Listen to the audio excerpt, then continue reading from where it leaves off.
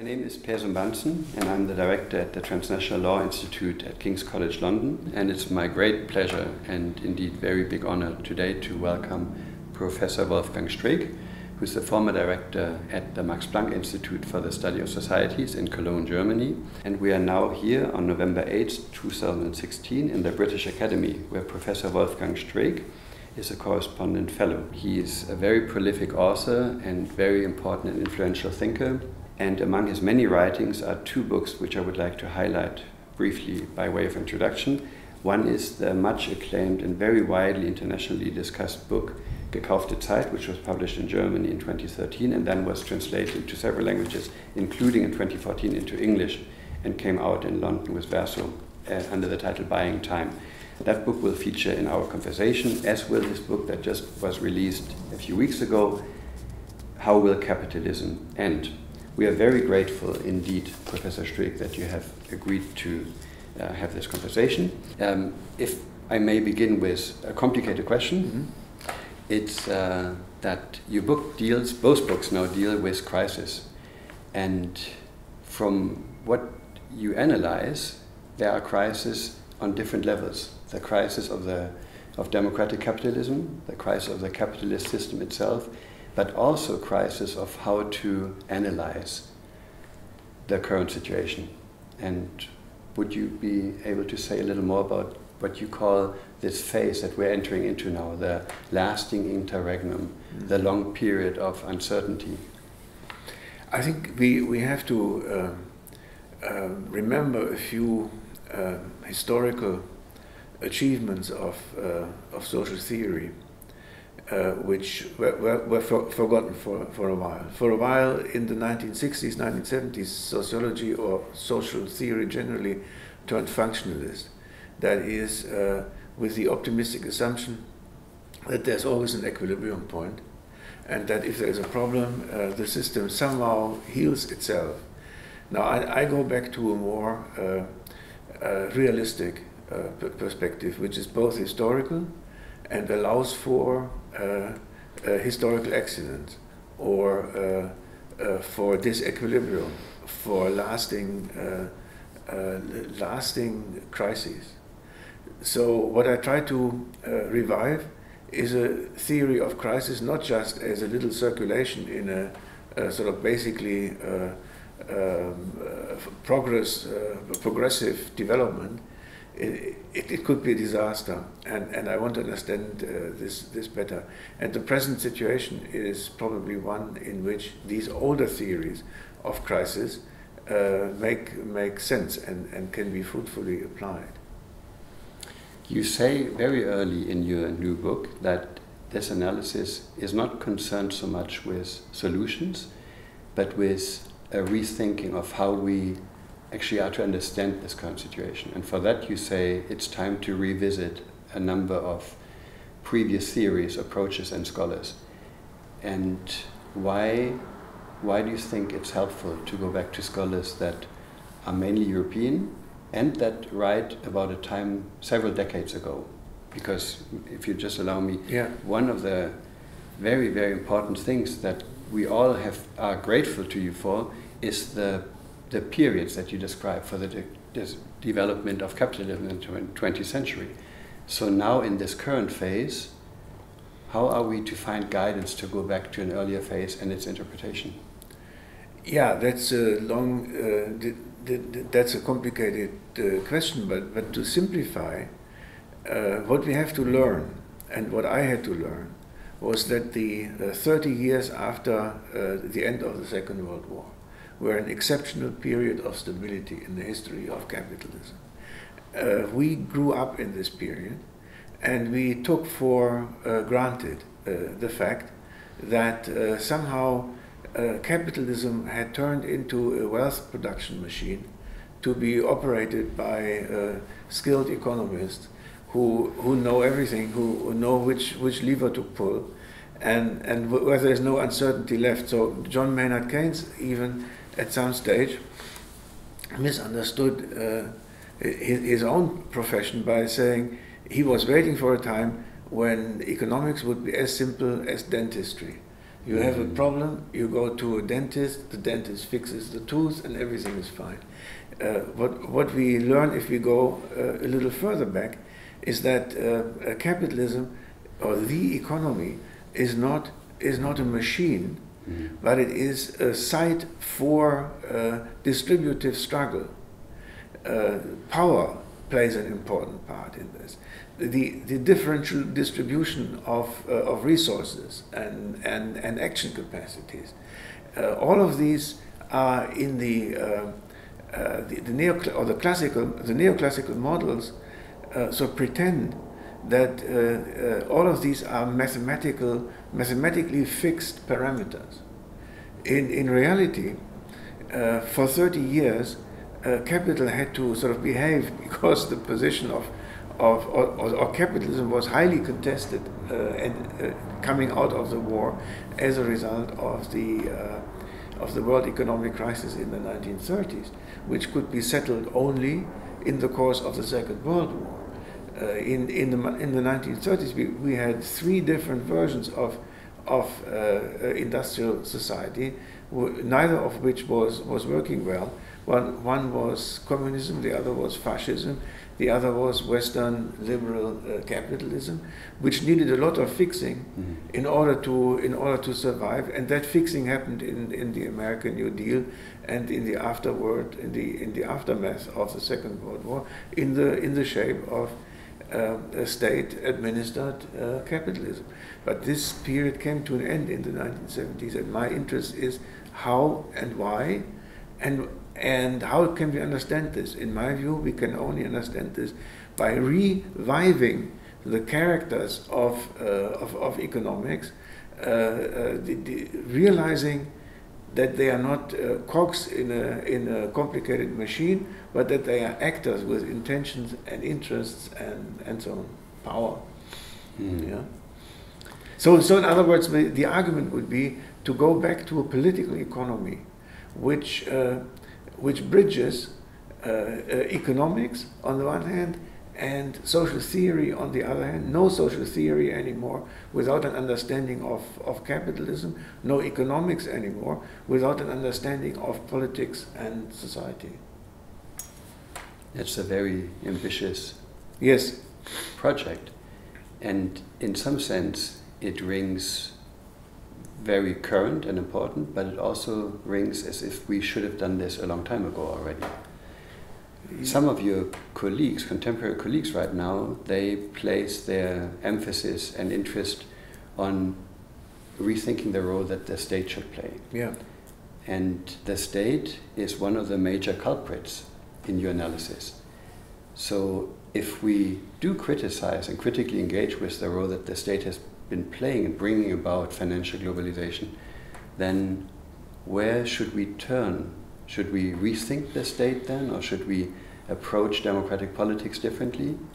I, I would say two things. One is uh, historically, capitalism was always uh, so deeply uh, in, engaged uh, in, in state structures mm-hmm. and, and vice versa. They could not be seen separately because capitalism as, as an economic regime, uh, if it is not embedded in some sort of social rule making, uh, it cannot function. So it needs this uh, both for support and for constraint. And historically, historically there was always a strong sort of host nation or carrier nation of capitalism, from Florence to the Netherlands to England to the United States, which organized the expansionary uh, uh, dynamics of, of capitalism while at the same time protecting important uh, aspects of society from being taken over mm. by, uh, by the market or by capitalism. That's the one thing. The, the, other thing is that you, you say culprit. I'm, I'm not so sure whether this is, this is the point. The point is that uh, uh, democratic capitalism of the 30 years after the Second uh, uh World War uh, was organized in a truly dialectical way. Uh, you could accept a capitalist economy only on condition that there was a state that both stabilized it and distributed the, um, the product in a way that satisfied aspirations not just of capitalists but also of others. Mind you, that the fundamental problem of any capitalist social order is that only a very tiny minority of society owns what is what capitalism is all about, namely capital. Uh, and, and the others sort of have to work hard for these few people to get richer and richer. Now, this is an extremely fragile proposition. Mm. Uh, you need all sorts of tools, uh, historically, from brute force uh, to today, let's say, advertisement and consumption norms, uh, to get people actually to play that game. And, and in, the, in the period of democratic capitalism, the idea was that through redistrib- redistributive politics, you could both uh, create legitimacy for capitalism and make it working, make it work because uh, this was built on this on the Keynesian genius idea of, of John Maynard Keynes that uh, aggregate demand uh, is produced by taking from the rich and giving to the poor. That is the egalitarian element of, of, of capitalism was sort of built into the growth doctrine of, of, these, of these societies. Suddenly, or in, in the 1970s, this sort of withered away. Mm-hmm. And, and then, in a process of very complicated struggles, the Keynesian formula was replaced what I call the Hayekian formula. Mm. You get growth by taking from the poor and giving to the rich. In terms of work incentives or you, you, lower taxation, then they work harder. And at the bottom, you have to take their income away so they work harder. So you have a double anthropology uh, these days. Uh, uh, capitalists work harder if, you, if, if, profits are higher, workers work harder if wages are lower. And, and both has some sort of empirical. In, so so in, in this sense, I, I think, uh, uh, yes, the state, uh, but we'll, we'll, we'll, we'll, talk about mm. the causes of this.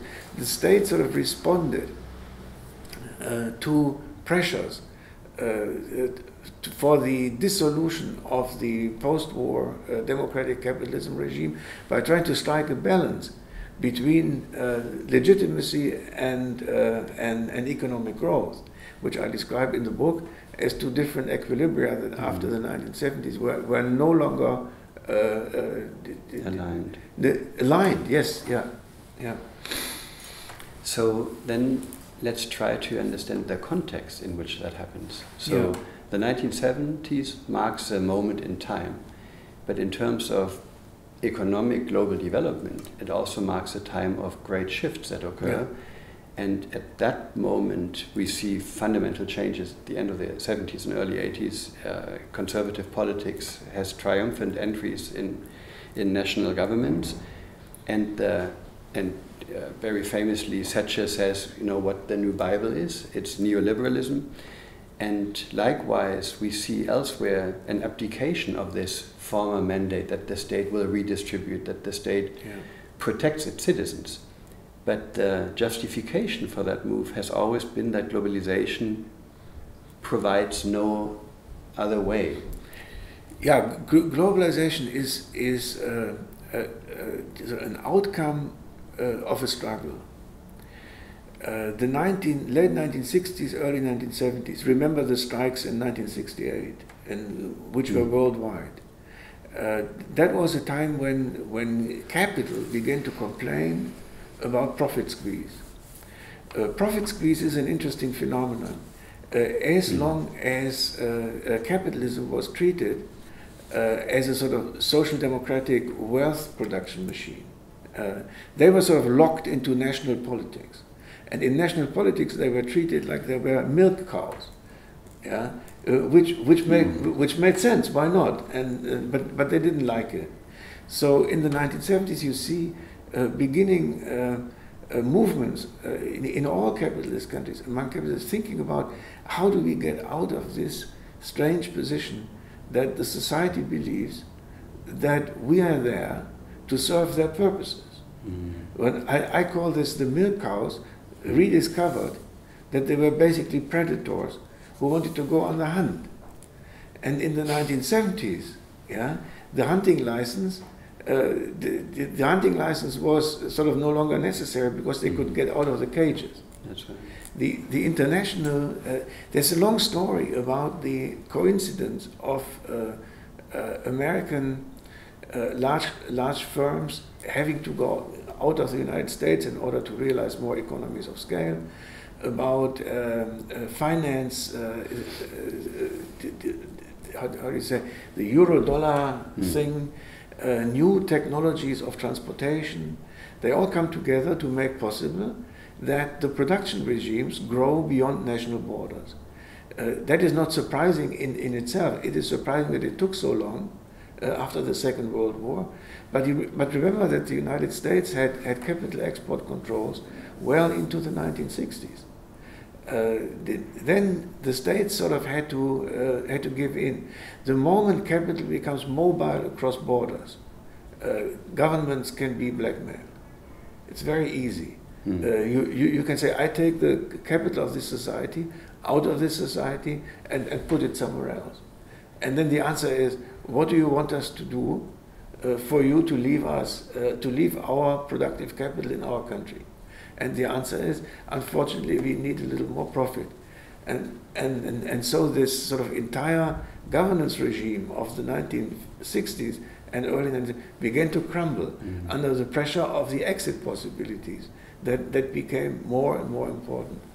Uh, so, so the state's culprits, to an extent, yes, but there was a period when governments seriously believed that by attracting investment capital through incentives of all sorts, they could uh, provide uh, prosperity for their uh, population, not seeing that this uh, bargaining uh, process could continue forever. Mm. They can ask for more and more and more all the time, and that's what they are doing.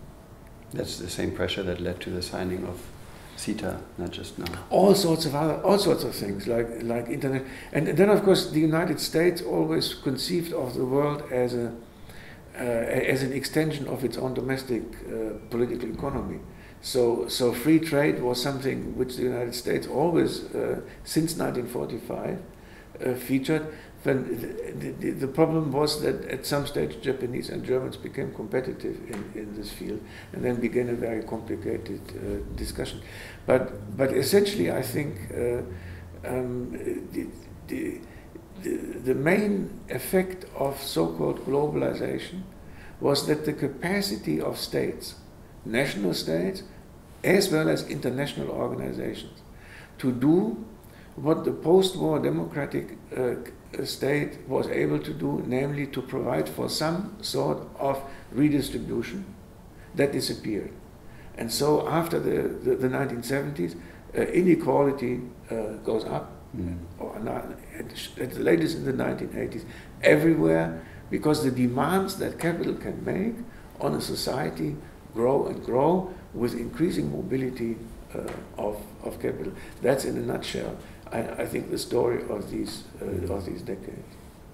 So, the, is it correct then to say that the center of these developments is the rise of finance, and the what scholars that you cite in your book and also others have called the financialization of the economy, and the financialization of the economy is so dramatic in its impact that it has on how we categorize political agency, the institutional framework that should govern this. One is long departed from the idea that a national government can regulate its economy because the economy has gone cross borders, but financial flows that cross borders, they seem to present a conundrum that sociologists, you know, and yeah. spatialization theorists have been describing. But where where are we to find tools to to capture finance and the ontology of finance? Yeah, that is uh, uh, absolutely the question. Uh, I think uh, if, if, I want to think constructively about this, not just descriptively and analytically, one would have to think about uh, modern uh, advanced forms of capital controls, slowing mm. down the flow of capital. Mm. generally, the, the, the notion of, of globalization is often presented as something that uh, cannot be undone.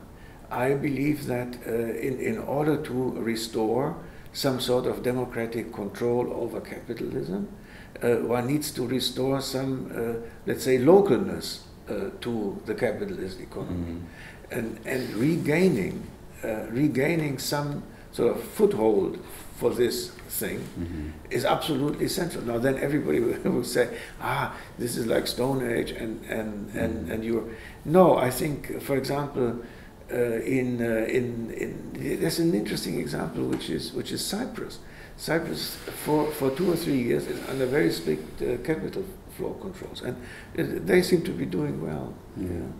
Uh, North Cyprus is small, of course, but uh, I, I, think constructive thinking about uh, uh, a, a re-democratization of the capitalist economy, if that would work at all, would begin with the uh, restoration of more local control over capital and, and production. And, and a word like protectionism or protection should not be uh, discarded immediately. Uh, the role of states indeed is also to protect their citizens mm-hmm. yeah, from uncertainties and, and, and so on. And you see now, in what uh, we, we, may later uh, uh, touch on, what, what, I think is a, is a global crisis of the international state system. Uh, much of this uh, revolves around demands from uh, rising parts of the citizenry to be protected from the effects of internationalization. Mm yeah, and the inability of states to answer constructively uh, to these demands, uh, which results in populist parties, in a very mm-hmm. strange discourse like these people don't understand what the world is like, mm-hmm. uh, and, and, and uh, conflicts over immigration, very important, because immigration also has something to do with globalization and with the opening of borders. People, I would think, political communities cannot live without borders. The question is how the borders are organized, what gets across, what doesn't, uh, which is a permanent uh, uh, thing to, to discuss. But, but democracy can never have the same scale as a global capitalist economy. It is impossible uh, mm-hmm. to, to do this. So, so in, to the very least, it has to be a strongly federalized structure with, with lots of local uh, self governance built into it if Karl Polanyi were here, then he would say that we might have been speaking just now about the double movement. Yeah. But the question then is where to find even the starting points for this institutional infrastructure. So membership and belonging and voice and agency, these are terms that political philosophers are now pressing with greatest urgency because they say yeah. if your institutional framework has become so eroded yeah. and there's so much public distrust, then we have to try to revive it. But if we don't know, even after what you call in your book the watershed of the global financial yeah. crisis, and we now, a few years later, still don't have a global financial infrastructure that looks for for the protection of vulnerable constituencies, then of course it's no surprise that people lose yeah. faith. Would you mind if we brought somebody to the discussion that um, I think might have something to contribute here, but we might need to update her a little?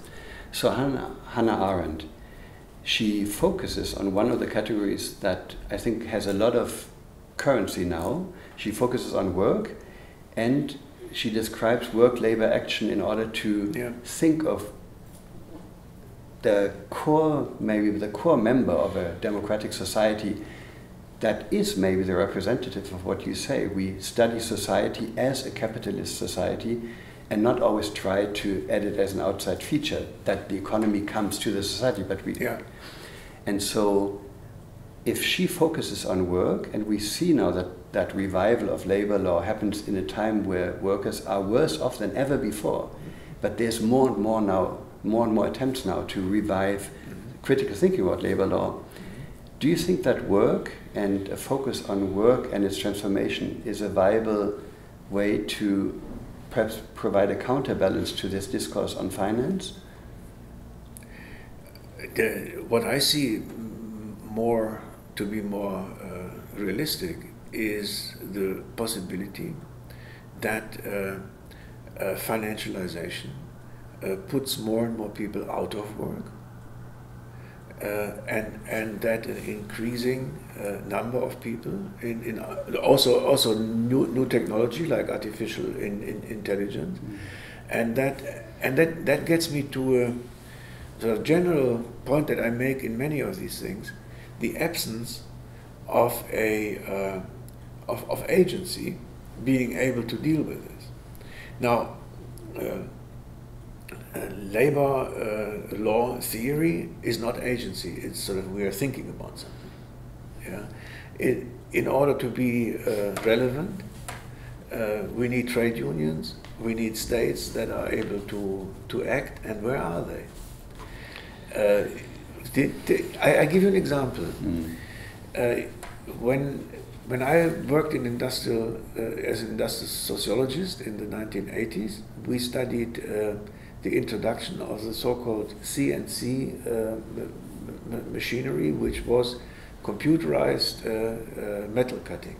Yeah? And so you could stick a program into the machine and, and it would do the most amazing cuts and which you would never be able to do by hand in the traditional traditional way. And the fear was that this would result in uh, mass unemployment among uh, very skilled uh, metal workers. Yeah? Uh, this did not happen. Uh, it happened only in the United States. It didn't happen in, in Germany and Japan. And the explanation was, first of all, you had relatively strong trade unions that could push for the new machinery being used for purposes that still require skilled labor, that ever more, for example, debugging of programs uh, direct at the, directly at the workstation. And, and so this, uh, this, but this required trade unions and a social security system that absorbed those that were still made redundant and gave them an opportunity for the rest of their, of their working lives uh, to, to lead a decent life. Now, if you think about what may be coming in terms of artificial intelligence, that would repeat itself in the middle class uh, among those people uh, who were, ideal typically speaking, the children of the metal workers that were not really uh, uh, uh displaced because of strong social protection. But this uh, new generation has no strong social protection and nor is it is it, it, it isn't even all, uh, uh, employed yet. So they are going to university, and they pass university, and in ten years maybe law uh, law firms will have only one tenth of their present employment because the rest is done by very intelligent machines. Mm. Yeah, so so now uh, I think we we we we may lack the political institutional capacity to deal with technological change in a constructive way, in the same way in which the United States lacked it already in the 1980s, when, when with the advance of CNC, the deindustrialization basically of the United States began. Yeah? Mm-hmm. Uh, in, in, other words, agency is, is the important thing.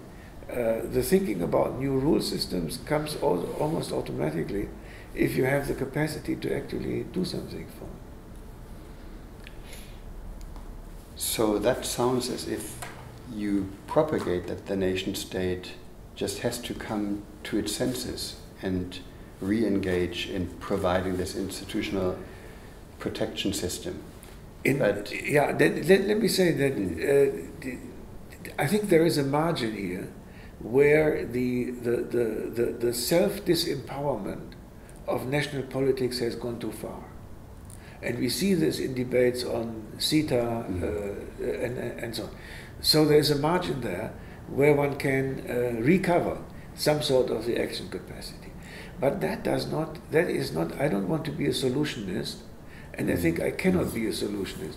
What, what I uh, would add to this is more from, from an observer's position. What we see now is a very uh, sort of deep debate on the right scale of political rule, by, by, which, for, by which I mean mm. this. Uh, sometimes it is said that you need larger units in order for, uh, let's say, governance to recover its power uh, in relation to the capitalist economy.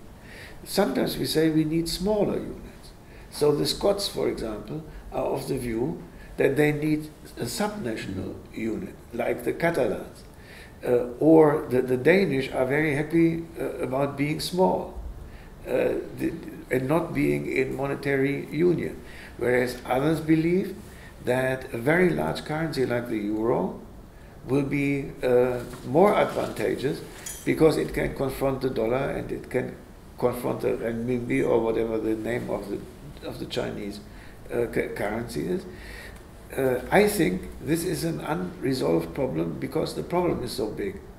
But but there is a lot of struggle going on these days. If you look at if you look at it between uh, advocates of small size carving uh, to carve out to use the tools of the traditional Westphalian state to carve out a niche for a local, uh, you can also say regional economy in the global world, and alternatively to merge uh, uh, small units into larger units that are more powerful and have more, don't have all their eggs in one basket. Mm.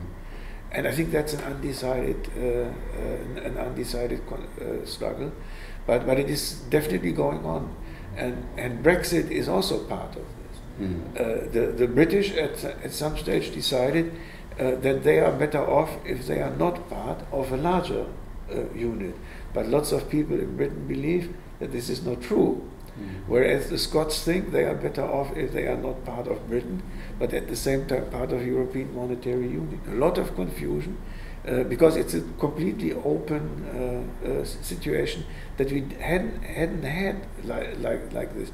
That, I mean, for example, international. Uh, I, I would I would say after 1945, the idea of a global system of sovereign states uh, open to uh, modernization, economic development. That was for the first time uh, really uh, uh, instituted. And now you see how this global regime is beginning to crumble. Failed states, uh, the number is becoming higher and higher. The, the one global disciplinarian, the Soviet Union, disappeared. The other one doesn't know what to do, is losing one war after the, after the other and in between is Europe, totally confused. What is good for what is good for us, being one unit or being uh, I don't know 28 or even more units. Yeah. In that sense, from an observer's position, I would say the very uh, idea of statehood is, is being uh, is being discussed, and how uh, state how states as political entities should relate to this global uh, capitalist economy, which is now, especially in the financial sector, just an n equal one. Mm. Yeah. It's more than only intuition. Why I like that you say, let's not try to be solutionists. That's, I think that's a very important point. But at the same time, we are, of course, operating now with the ever more finely distilled types of analysis that you're, um, for example, developing they have a hard time to develop a loud voice against very, very simple black and white discourses. And we'll see a tragic, hopefully not tragic example tonight, no later tonight, what will happen. Where the poles have become so radically polarized now and simplified. But maybe to, to revisit one of these larger conceptual points that is that there is a need to think society as a capitalist society and to connect that with searches for political agency. You are maybe not just skeptical, but maybe a sort of disillusioned um, fan of varieties of capitalism. Now, many, many um, scholars in economics, in corporate law, in sociology, they don't even know that varieties of capitalism happened. And that is for people like you probably yeah. incomprehensible because yeah. it was a very very important development but why why do you think it has petered out because that was I mean, I, I, at that time I studied yeah. corporate law and I was in disbelief that people in that field knew more about corporate law its history its institutional um, infrastructure than anybody else and corporate law didn't even know this analysis existed. They they failed. They talked about convergence yeah. of corporate yeah, law, yeah, but had no idea about this anal analysis. But but the, the concept of convergence is very important here. Um, the, the comparing uh, units uh, presupposes that these units are independent. Yeah. Uh, now, for some uh, for some time, you could uh, in sort of comparative law, Rechtsvergleichung, mm. yeah, you would say, ah, it's like this here and it's like this there and so on. But, but uh, as the world integrates, um, a very a process of convergence not only happens, but can only be also be manufactured.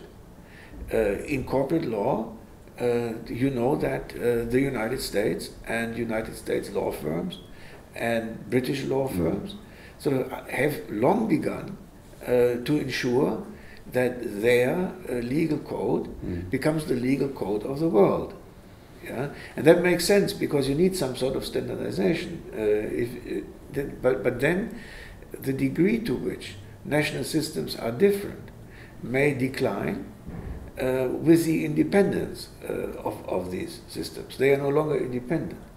There, there may still be variation, but that variation then is sort of a local uh, a local modification of a general uh, pattern. It's like a uh, like an embellishment on, on the surface. Yeah? the, the same is true in, or in my view, even more important uh, in in uh, industrial structures. So take a place like Sweden or Denmark, the the happy places uh, in the world these days. Uh, they are small. So if you look at Sweden, uh, uh, exporting expertise, engineering, consulting services, and, and this sort of thing, highly skilled workforce, then then these could not exist without uh, uh, customers all over the world mm. buying these particular services. They are part of a of, of a global division of labor, and they are lucky to have attracted uh, uh, sort of profitable uh, uh sectors uh, on their territory. That looks like a state, but but if the demand, the external demand for these services would disappear, let's say in China or in the United States, they would suffer enormously. Yeah? The, the, the same for, for Germany the, the international division of labor has progressed to a point where 70% of the cars that are being built in Germany are being exported to, to other places. Yeah. Germany is now has 4.5% unemployment. It's unbelievable. They are sort of the, one of the mm. richest countries in the world. Why? Because they happen to be located in a particular niche of a larger whole of which they are part, and their future is not no longer their own future. It is the future uh, of a country that performs a particular function in, in a global context. Yeah? In, in this sense, I, I, I would say uh, varieties of capitalism has to be seen uh, also in terms of interdependence of capitalisms, and then uh, maybe as simply a subsection uh, of a global structure, which is called the global capitalist economy. Yes, but I think that some of the drivers for a defense of Rhenish capitalism yeah. and for a coordinated market system were not to maybe there was some stubbornness and and a hope that we could preserve the yeah. nation state to continue a form of embedded liberalism. But there was also the recognition that a lot of the rules that were converging are those rules that states have abdicated. Yeah. They are part of a rulemaking system that has become privatized. Yeah. And political agency was given away to hedge funds that yeah. say what kind of corporate law rules they want. Absolutely. And so, in some sense, maybe the tragedy is of such a sophisticated political economy analysis that it didn't not yet know how to engage with rules that are produced outside of this traditional state law system. Yeah. But those rules are ubiquitous now, and they make it even more important to find out what the this system could be of political agency. And that's why I brought up labor law earlier, because labor law, from what I understand, is now no longer just found in unions. It's true that union numbers decline, but the labor law conflicts around terrible damages in supply Yeah. chains in Rana Plaza, Yeah, in Foxconn. yeah. The labor law that's being created there is understood not just as labor law, it's understood as political agency Yeah, yeah, yeah. in order to say we are not part of this, of the elite that governs, that makes decisions. Yeah, global global governance, uh, I think, is the concept here. Uh, very often, sort of without states or uh, through sort of private uh, civil society organizations and so on. My reading of this literature is that that these efforts are basically uh, uniquely in, ineffective. Uh, so, so there, there- there's lots of goodwill going on, uh, but. Uh, uh, the, the Chinese factories cannot be regulated from, from outside China. Hmm. Yeah. Even along the supply chains, you, you do uh, you do a little thing here and there, and and that's it.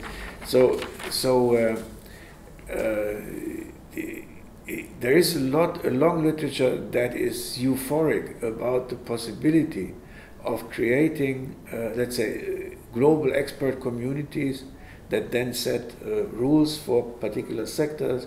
Uh, it could be law firms. It, it, it could be it could be civil society uh, uh, organizations, non-governmental organizations, and so on. But if you look at what they achieve, uh, there there is something to the uh, uh, monopoly of force that that states uh, have, and if you have bodies that do not uh, uh, that, that rely on more or less voluntary compliance, you see that the rules get softer. Hmm. In that sense, I'm a realist, so to speak? And, and, and not, uh, not very optimistic uh, that we already have found a replacement for the uh, traditional state at the global Hmm. level. Hmm. So let's return to the point where you said about yourself that you are you're not interested and eager to provide solutions because that would not be the right approach, but rather to think about the terminologies and the approaches that Yeah. we now are exploring. Now, your field being sociology with political economy, sociology and political economy, what's the role that this, those are the you know, concluding chapters in your book. What's the mandate, the mission? It generally uh, is the question of what is the mission of intellectuals in a world of uncertainty and uh, and declining collective action capacity. Yeah, uh, the, the our or many of us still live in a world that needed uh, what Gramsci called uh, organic intellectuals. That is where there were uh, states, political parties, trade unions, uh, that played a role in a society and needed uh, some sort of uh, advice, knowledge, uh, what the society was, was like, what was going on, so that they could act better in, in this context. And uh, to, today, as you as you uh, as one one can uh, observe, uh, um, these uh, counter forces, counter movements to the capitalist economy are very weak, and they are very often powerless, and and the role of organic intellectuals in them uh, is very very limited. Also, their reliance on them. So so today we speak to a more diffuse uh, public. Mm. Uh, and we don't know whether we only speak to ourselves, to our colleagues, or whether anyone is really is really listening. The the hope is uh, that uh, the universities can be preserved as places where you can open up questions that are not being discussed in public, uh, in the hope that this will sort of filter out of the university into a more public discourse. For this, one needs to defend not only academic freedom, but also uh, curricula uh, that allow for uh, deeper reflection than uh, on what you need for your next exam. Mm. Yeah. The, the final chapter of, uh, of John Maynard Keynes' uh, general theory is on exactly that, Mm. that question. Yeah? If I may remind you, uh, in this chapter he says uh, every uh, practical man is basically dependent on some sort of scribbler uh, uh, that he has read uh, in his 20s. And then for the next 20 years, this is, he will not learn anything else. Uh, this is his, his book of, of, of recipes. And then he says, uh, I cannot hope that my ideas will affect those that are now in power, but those that I teach at the university, uh, maybe in 20 years, uh, they will build on this. The only question is, do we have in, uh, as much time as Keynes thought he, he had? Can we wait for 20 years until uh, uh, what we now discuss uh, uh, may have some practical relevance? So I'm very uh, pessimistic about this as well. And for the next time, for the next decade or two decades, I think we're dealing with an extremely uncertain world, with a world with lots of surprises, with bubbles blowing up, with uh, strangest things happening. Yeah? I call this an interregnum. Mm. And by uh, quoting Gramsci, an interregnum is a period in which the old world uh, uh, is dying, but the new world cannot yet be born. And then he adds the sentence, uh, and this is a time in which the most bizarre things uh, can, can happen. Tonight we see a bizarre event in the United States, Mm. uh, and, and it's only, I think it's only the beginning. I know we could end here, but let me allow, please allow me one last question. Yeah. Which is, if because if we just ended on uncertainty, Yeah. then It would be too uncertain. yeah. So there are so many and ever faster repeating instances now of whether it's 99% or it's Occupy, or even the different voices that now have come to the fore after the vote of 23rd of June. What what are we to make of those Mm. if they're not yet institutionalized? You know, if they're not yet part of a revived nation states theory, they still, I think, they speak very loudly Yeah. to new forms of being upset and expressing expressing Yeah, that. yeah. I, I the, small correction. Uh, revived nation state. I, I said that there's some uh, uh, some place there to reinforce national governance, but it will not solve the entire problem. Mm. Uh, so so more, uh, the, much much more is is is, is required. So in my book. Uh, buying time.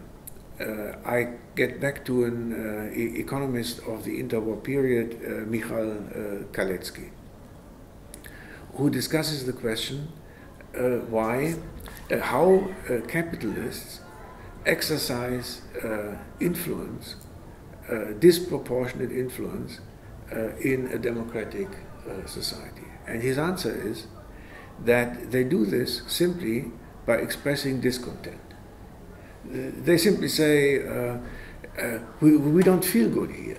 Uh, it's, it's so, all sorts of things can happen. We won't invest, we sit on our, uh, then you, then you get unemployment and the government. So this, ex, uh, this, this expression, not very uh, elaborate, this expression of, of discontent, governments are very carefully listening. Are capitalists happy?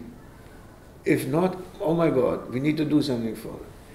My idea for a short term program of reviving uh, democracy is that uh, people manage to exercise the same sort of pressure on governments, just to balance it, so that they express their discontent. Mm. And expressing discontent means you have to be seen somewhere. Unlike capitalists, they don't have to go to the streets, they just don't invest whereas we have to find an equivalent for this. Yeah? Uh, then it could be that uh, the technocrats or the politicians that are running our political economy will be forced to think uh, if they do something, uh, whether this will result in serious discontent on the part of the people. So we restore a second channel, so to speak, not just the channel from, uh, from capital to the central bank, but also the channel from the people to the government. Uh, and for this, a lot of uh, spontaneous, emotional, uh, uh, un- disorganized maybe action can really help. I, I think in that sense, uh, when I say solutionism is, is not the answer, we will not impress our governments by offering them elaborate plans how to protect uh, the workers in the, in the Midwest. They don't care. Uh, this carries no weight. But if they see people all the time getting, uh, uh getting restive, that may uh, register, that may be a signal. Yeah?